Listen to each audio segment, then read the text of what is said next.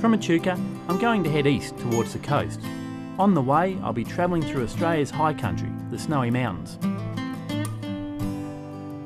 If you're camping, make sure you check out some of the designated campsites. At the campsite I visited, I was lucky to come across a mob of kangaroos resting from the midday sun. Now remember, these are wild animals, but they seem to show no concern for me or my camera.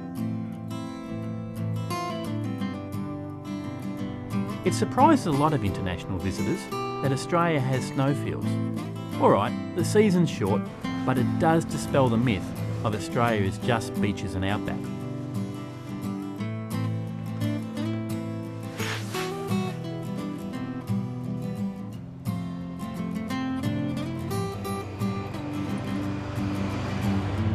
I'm on my way to one of my favourite national parks, Mimosa Rocks near Tathra.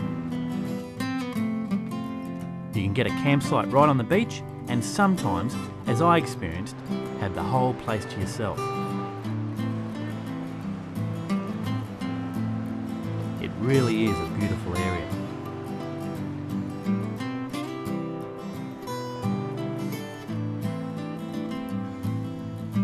The stopover also gave me a chance to practice my bushcraft skills.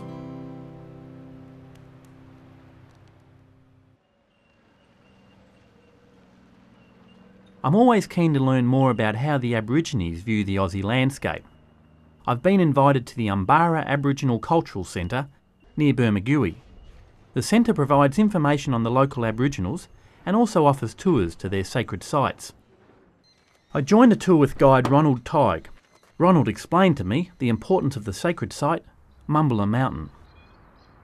Biamanga, Mumbulla Mountain, the law comes from the mountain. This is where all the initiations were done. They put the red ochre on the young boys, took them up along the dreaming track, through different endurance stages, and that to see if they was fit enough to become men. As they come down back down the track, to they come to the sacred pool. They had the red ochre on them. They go through the sacred pool into the waterfall. As they come off uh, through the other side, they washed ochre off, and they became men. Some say that this was the proudest moment in a mother's life when you seen their young boy go off with the elders to go along the dreaming track to become men.